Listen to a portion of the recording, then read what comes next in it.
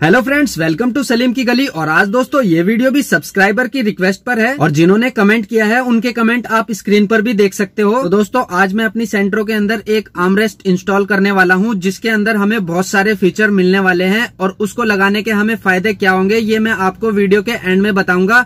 और उसे आप कहाँ से परचेज कर सकते हैं और वो मुझे कितने का पड़ा है, ये भी मैं आपको वीडियो के एंड में बताऊँगा। और जो आमरेस्ट मैं अपनी गाड़ी के अंदर इंस्टॉल करने वाला हूँ, आप इस आमरेस्ट को किसी भी गाड़ी के अंदर इंस्टॉल कर सकते हैं। तो दोस्तों कमेंट करके ज़रूर बताना, आपको इस आमरेस्ट में सबसे अच्छा फीचर कौन सा लगा है? तो वीडियो शुरू करने से पहले एक रिक्वेस्ट और है, अगर आप मेरे चैनल पर पहली बार आए हो तो चैनल को सब्सक्राइब करके बेल आइकन नोटिफिकेशन को ऑन कर लेना, ताकि जब भी मैं न्यू वीडियो अपलोड करूँ तो उसकी नोटिफिकेशन आप तक पहुँच जाए और आप उस वीडियो को देख पाए सबसे पहले। और साथ ही साथ दोस्तों, इस वीडियो को लाइक भी कर देना। तो दोस्तों, जैसा कि देख सकते हो, इस बॉक्स के अंदर है हमारा आमरेस्ट और इस वीडियो के अंदर मैं इस आमरेस्ट के बारे में आपको पूरी डिटेल देने वाला हूँ। इसके अंदर हमें क्या क्या फीचर मिलेंगे और कैसा ये आमरेस्ट हमारा गाड़ी में लगने के बाद लगेगा।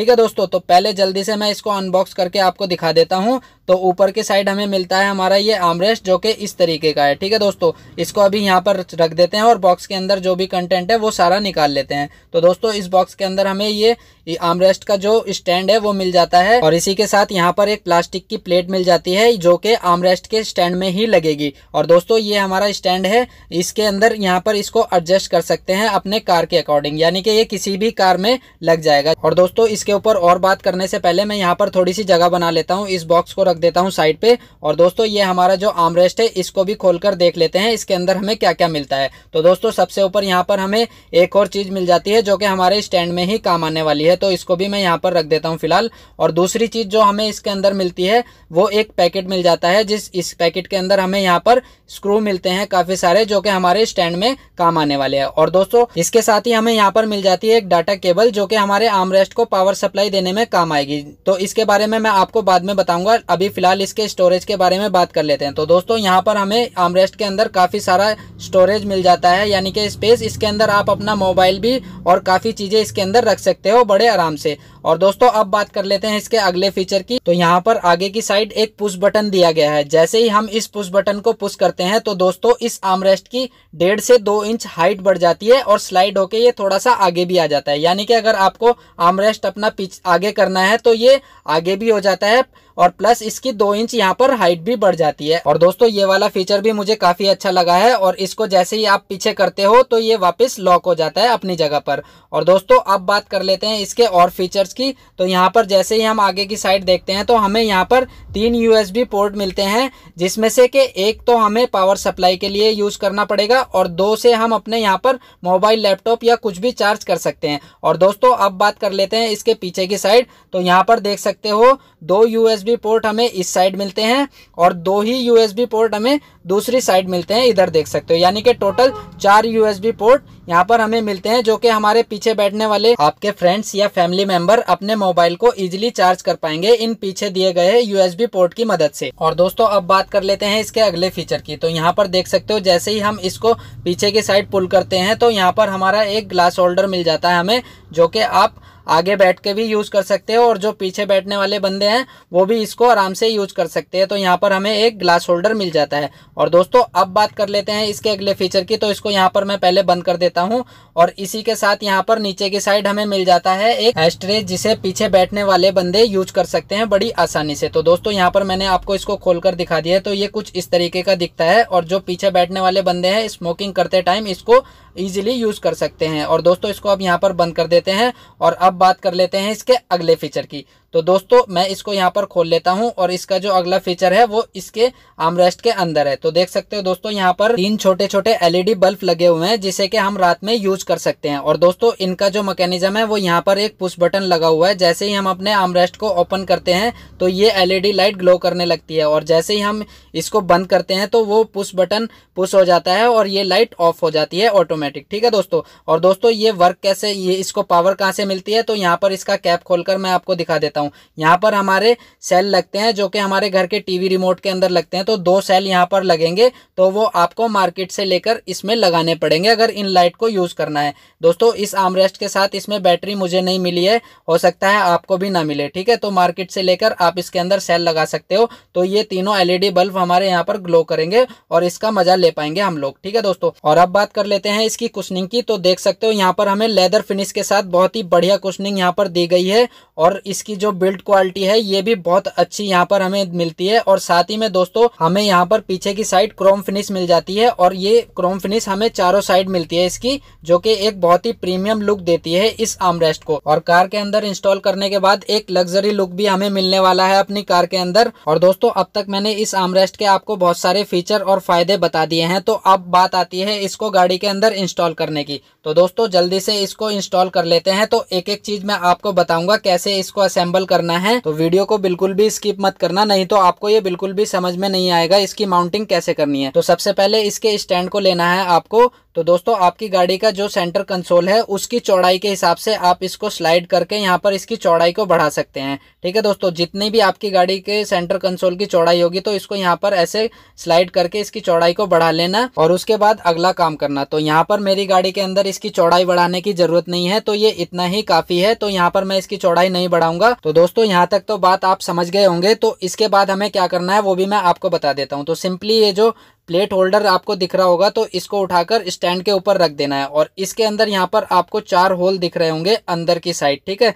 तो ये वाले जो चार होल है, इनमें चारों में एक एक स्क्रू आपको लगा देना है। जैसे कि मैं यहाँ पर लगा रहा हूँ एक एक करके चारों स्क्रू को लगा लेना है और उसके बाद इनको टाइट कर देना है। और दोस्तों, ध्यान रहे स्क्रू को ज़्यादा लूज भी नहीं छोड़ना है और ज़्यादा टाइट भी नहीं करना है, क्योंकि ये प्लास्टिक होता है। अगर आप एक हद से ज़्यादा टाइट करोगे तो यहाँ पर प्लास्टिक हमारा ये टूट सकता है, ठीक है? तो इतना ही टाइट करे जितनी बस ज़रूरत हो। और दोस्तों, इसको फिट करने के बाद हमें जो अगला काम करना है, ये जो हमारी प्लास्टिक की प्लेट हमें इसके अंदर मिलती है तो इसके ऊपर इसे माउंट करना पड़ेगा और इसके अंदर भी हमें चार स्क्रू लगाने पड़ेंगे। ठीक है दोस्तों? तो इसको कैसे माउंट करना है वो भी मैं आपको दिखा देता हूँ। तो सिंपली इसको इसके ऊपर रखना है और जो नीचे वाले होल है, इस प्लेट के होल के साथ उसको मैच करना है और स्क्रू लगाने हैं। तो दोस्तों, इसके होल को हम कैसे मैच करेंगे मैं आपको यहाँ पर बता देता हूँ। तो प्लेट के अंदर ये चार उभरे हुए जो होल आपको दिख रहे हैं, ये वाले होल हमें, ये जो इसके अंदर आप लेग देख रहे हो, चार तो इन लेग्स के साथ उनको यहाँ पर मैच करना है और होल को मैच करने के बाद एक एक करके यहाँ पर चारों स्क्रू को आपको लगा देना है और स्क्रू लगाने के बाद एक स्क्रू ड्राइवर से उनको टाइट कर लेना है। और दोस्तों, इतना काम करने के बाद जो हमारे आमरेस्ट का स्टैंड होता है, वो प्रॉपर तरीके से तैयार हो जाएगा। यानी कि इसके बाद हमें इसमें ज़्यादा कुछ अब करना नहीं है, सिर्फ़ हमारा जो आमरेस्ट है, वो ही इसके ऊपर लगाना बाकी है। तो आमरेस्ट को स्टैंड के ऊपर फिट करने से पहले मैं आपको एक बात बता देता हूँ। आमरेस्ट के नीचे यहाँ पर दो स्लाइडिंग लॉक लगे हुए हैं, जो कि हमारे स्टैंड के ऊपर जाकर फिट हो जाएँगे। यहाँ पर मैं आपको स्टैंड में दिखा देता हूँ। ये जो स्टैंड के ऊपर जो प्लेट हमने लगाई है, इसमें ये देख सकते हो दो सीधी लाइन बनी हुई है। एक ये वाली और एक दूसरे साइड बनी हुई है। ठीक है दोस्तों? तो इनमें ये स्लाइडिंग लॉक हमारे जाके फिट हो जाएँगे। तो जल्दी से आर्मरेस्ट को स्टैंड के अंदर फिट कर लेते हैं। तो दोस्तों सिंपली हमें स्टैंड को कुछ इस तरीके से यहाँ पर पकड़ लेना है और इसके बाद जो हमारा आर्मरेस्ट है, उसको यहाँ पर धीरे धीरे से इसके अंदर स्लाइड करके अंदर डाल देना है स्टैंड के। तो ये कुछ इस तरीके से ऐसे स्लाइड होकर यहाँ पर अंदर चला जाएगा। और दोस्तों, जब ये थोड़ा सा अंदर चला जाएगा, उसके बाद आपको यहाँ पर थोड़ा सा ज़ोर लगाना पड़ेगा, क्योंकि ये इतनी आसानी से अंदर नहीं जाता है। अगर ये इतना लूज होता तो दोस्तों, ये कभी भी झटकों में निकल कर बाहर निकल कर गिर जाएगा मतलब स्टैंड के अंदर से। तो इसमें थोड़ी सी आपको जान लगानी पड़ेगी, तभी ये प्रॉपर अंदर फिट होएगा स्लाइड होके। ठीक है दोस्तों तो यहाँ पर मैं आपको ये प्रॉपर फिट करके दिखा देता हूँ। तो दोस्तों, मैंने जैसे ही यहाँ पर थोड़ा सा ज़ोर लगाया है तो देख सकते हो ये पूरा यहाँ पर अंदर आ चुका है। और दोस्तों आर्मरेस्ट को स्टैंड के अंदर फिट करने के बाद जो इसकी पोजीशन आपको स्लाइड कर कर सेट करनी है, वो यहाँ पर कुछ इस तरीके से सेट करनी है, जो हमारी स्टैंड के ऊपर प्लेट लगी हुई है तो उसके बिल्कुल एंड पर हमारा आर्मरेस्ट यहाँ पर आना चाहिए। जैसे कि देख सकते हो, मैं आपको यहाँ पर दिखा रहा हूँ। ठीक है दोस्तों? तो ये कुछ इस तरीके से हमारा आर्मरेस्ट तैयार हो गया है। और दोस्तों, अब इसको गाड़ी के अंदर कैसे फिट करना है, वो भी मैं आपको बता देता हूँ। तो सिंपली दोस्तों, इसका जो स्टैंड है वो हमारे सीट बेल्ट का जो लॉक होता है, उसके अंदर आपको रखना है। ठीक है दोस्तों? तो यहाँ पर दूसरा वाला लॉक इसके बाहर आ रहा है तो इसको क्या करना है, हमें स्टैंड को थोड़ा सा यहाँ पर पुश करेंगे तो ये भी हमारा जो सीट बेल्ट का लॉक होता है, वो भी बाहर आ जाएगा। यानी कि दोनों सीट बेल्ट के लॉक जो होते हैं, वो हमें बाहर की साइड रखने हैं। और उसके बाद जो दोस्तों हमारी सीट होती है, दोनों साइड की, उनको थोड़ा थोड़ा सा हमें अपने साइड दबाना है और आर्म रेस्ट को पीछे की साइड धकेलना है ताकि जो हमारा आर्म रेस्ट होता है वो सीट में बिल्कुल फिक्स हो जाए। तो दोस्तों, सीट को क्या करना है आपको थोड़ा सा पुश करना है और आर्मरेस्ट को उसके बीच में फंसाना है, ठीक है? जैसे ही हमारा आर्मरेस्ट बीच में फंस जाएगा, उसके बाद हमें क्या करना है? गेयर को चेक करना है कि हमारे गेयर यहाँ पर अच्छे से डल रहे हैं या नहीं, ठीक है? तो यहाँ पर गेयर हमारे अच्छे से डल रहे हैं तो अब इसको क्या करेंगे? थोड़ा सा और पीछे करेंगे ताकि हमें गेयर में कोई दिक्कत ना आए। और यहाँ पर पीछे करने के बाद इसको नीचे की साइड यहाँ पर पुश करना है ताकि ये प्रॉपर तरीके से बिल्कुल जो नीचे चला जाए हमारा आर्मरेस्ट ठीक है? तो यहाँ पर इसकी सेटिंग कुछ इस तरीके से होनी है। इसमें कोई स्क्रू नहीं लगना है और न ही इसमें कोई फिटिंग होनी है। तो दोनों सीट के बीच में इसको फंसा के और यहाँ पर इसके ऊपर धीरे धीरे से दबाव डालना है ताकि हमारा आर्मरेस्ट का जो हमने स्टैंड लगाया था वो नीचे टच हो जाए हमारे गाड़ी के सरफेस से। तो जैसे कि आप देख सकते हो, मैंने इसको यहाँ पर अच्छे तरीके से पुश करके नीचे पहुँचा दिया है और यहाँ पर हमारा आर्मरेस्ट अब प्रॉपर तरीके से फिट हो चुका है। तो दोस्तों, देख सकते हो, यहाँ पर हमारी गाड़ी के अंदर आमरेस्ट प्रॉपर तरीके से फिट हो चुका है और मैंने गाड़ी के अंदर बैठकर अपनी गाड़ी को थोड़ा सा चलाकर भी देखा तो मुझे यहाँ पर गेयर शिफ्ट करने में भी कोई दिक्कत नहीं आई इस आमरेस्ट को लगाने के बाद और आर्मरेस्ट हमारा यहाँ पे अच्छे तरीके से ओपन हो रहा है। मतलब मैं इसके स्टोरेज को भी अच्छे से यहाँ पर यूज़ कर सकता हूँ। और अब इसकी हाइट बढ़ाकर भी देख लेते हैं यहाँ पर। उससे तो कोई नुकसान नहीं है। तो दोस्तों, इसके जैसे ही पुश बटन को मैं दबाता हूँ तो इसकी यहाँ पर हाइट जैसे बढ़ जाती है। तो यहाँ पर हमें गेट डालने में थोड़ी सी प्रॉब्लम हो सकती है। लेकिन अगर आप इसको नॉर्मल उसमें रखते हो तो हमें यहाँ पर गेट डालने में कोई दिक्कत नहीं आएगी। और दोस्तों, यहाँ पर इसका ये ग्लास होल्डर भी आप अच्छे से यहाँ पर बैठकर यूज़ कर सकते हो। तो दोस्तों, अब बात कर लेते हैं आर्मरेस्ट को पावर सप्लाई कैसे देनी है। तो जो इसके अंदर हमें ये यूएसबी केबल मिली थी तो उसको एक साइड हमें लगा देना है, जो हमारे गाड़ी के अंदर चार्जर लगा होता है, उसके अंदर, और दूसरी साइड हमें लगा देनी है, ये जो आमरेस्ट के अंदर तीन यूएसबी पोर्ट आपको आगे के साइड दिख रहे हैं, उनमें से किसी भी एक में इसको लगा दोगे तो पूरे आर्मरेस्ट के अंदर हमारे पावर सप्लाई मिल जाएगी और किसी भी पोर्ट के अंदर आप इसमें यूएसबी केबल को लगाकर अपने मोबाइल या लैपटॉप को चार्ज कर सकते हो। तो दोस्तों, जैसा कि आपने वीडियो के अंदर देख लिया है कि आर्मरेस्ट के अंदर क्या क्या फीचर है और कैसे इसको इंस्टॉल करना है गाड़ी के अंदर।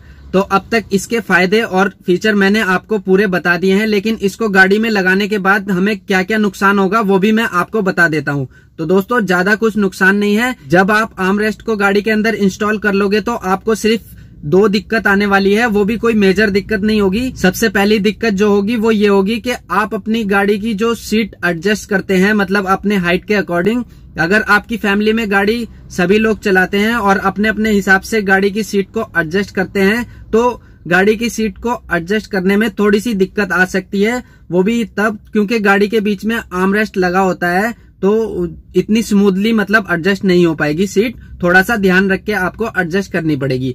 ठीक है दोस्तों? और दूसरी दिक्कत जो आने वाली है, वो ये है कि आप अपने गाड़ी के हैंड ब्रेक को सही से यूज़ नहीं कर पाओगे, क्योंकि आर्मरेस्ट बिल्कुल हैंड ब्रेक के ऊपर लगा है तो हैंड ब्रेक को लगाने में थोड़ी सी दिक्कत आ सकती है। बाकी इसके अलावा कोई दिक्कत नहीं है। और दोस्तों, अब बात कर लेते हैं इसके प्राइस की। तो ये मैंने ऑफलाइन परचेज किया है और ये मुझे पड़ा है बारह सौ रुपये का। मैं इसका लिंक आपको डिस्क्रिप्शन में दे दूँगा। आप वहाँ से जाके परचेज कर सकते हैं। वहाँ पर आपको ये तेरह सौ से साढ़े तेरह सौ के बीच में पड़ जाएगा। तो दोस्तों कमेंट करके ज़रूर बताना आपको इस आमरेस्ट में सबसे अच्छा फीचर कौन सा लगा है। और दोस्तों, आप मुझसे अगर डायरेक्ट बात करना चाहते हो तो मुझे इंस्टाग्राम पर फॉलो करके वहाँ पर मुझे मैसेज कर सकते हो। मेरे इंस्टाग्राम का लिंक आपको डिस्क्रिप्शन में मिल जाएगा। तो दोस्तों आप भी अपनी गाड़ी के अंदर कुछ इस तरीके से आमरेस्ट को इंस्टॉल कर सकते हैं। आज की वीडियो में फ़िलहाल इतना ही। अगली वीडियो आने तक के लिए बाय दोस्तों।